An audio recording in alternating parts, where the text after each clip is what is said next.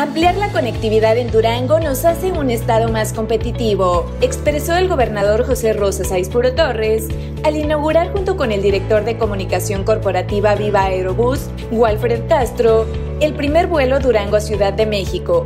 Cabe destacar que del 17 al 31 de diciembre se mantendrá la intermitencia y horarios de esta nueva ruta. Los boletos van desde 479 pesos en viaje sencillo y serán dos vuelos a la semana, los días jueves y domingos.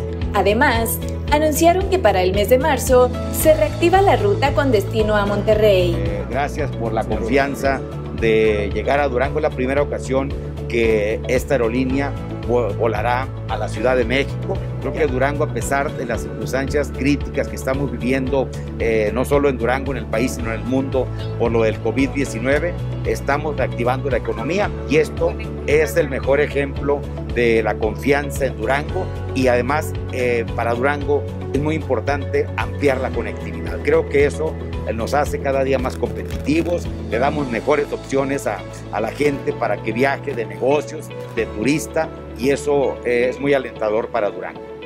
Por su parte, el director corporativo de dicha aerolínea destacó las medidas de seguridad con las que se cuenta, lo que garantiza una mayor confianza a los pasajeros. Estamos muy agradecidos, sobre todo con las autoridades, y gracias a todas las medidas de seguridad. Hoy sabemos que, que el pasajero no solo está buscando el precio más bajo, sino quiere sentirse seguro. De esta, de esta forma seguimos fortaleciendo esta conectividad. Posteriormente, el mandatario estatal y el director de la aerolínea realizaron un recorrido para supervisar el avance de obra de ampliación dentro del aeropuerto Guadalupe Victoria.